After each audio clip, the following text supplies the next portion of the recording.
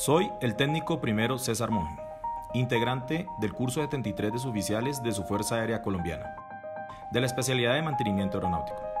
Desde hace 20 años laboro en el Comando Aéreo de Transporte Militar, en los motores de las aeronaves más insignias del Catán. Actualmente me desempeño como jefe de taller de motores, donde cumplo diversas funciones como la asignación de personal para la ejecución de los trabajos según el nivel de pericia en las diferentes aeronaves o motores. Supervisar que los trabajos sean realizados de acuerdo a la orden técnica con herramientas apropiadas y cumpliendo las normas de seguridad y demás trabajos que permitan el correcto alistamiento de las aeronaves. Durante estas dos décadas en Catán realizo mi trabajo con la misma pasión y responsabilidad como el primer día. Cuando reparo un motor o una hélice, soy consciente de la contribución de mi trabajo al cumplimiento de la misión de la Fuerza Aérea Colombiana. Mi aspiración más grande es dejar un legado, demostrando que con esfuerzo, disciplina y estudio se pueden lograr objetivos y orgulloso de los logros conseguidos y la planeación de nuevas generaciones.